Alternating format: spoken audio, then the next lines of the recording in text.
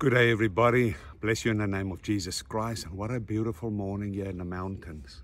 And this morning, the Lord speaks to us out of Psalm 84, verse 11, and I'm reading it out of the Amplified. For the Lord God is a sun and shield. The Lord bestows present grace and favor and future glory, honor, splendor, and heavenly bliss. No good thing will be withheld from those who walk uprightly. I truly believe that this year, 2024, is a year of absolute favor, of bliss, and of glory. Mm-hmm. It's the year of the goodness of the Lord. And here he comes and he's, he basically tells us just persevere, be strong and courageous.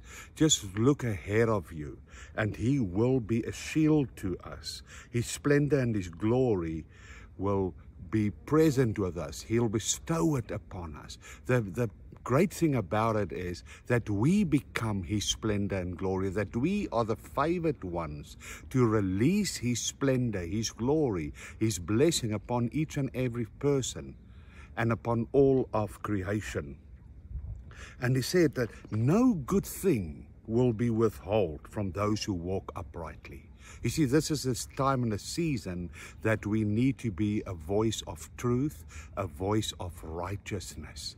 And by doing that and by being radical obedient to the voice and instructions of God, everything will work out for the good. And he says, no good thing will be, will be withheld from you.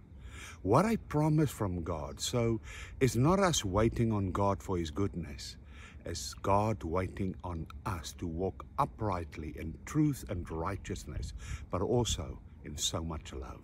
I bless you with that.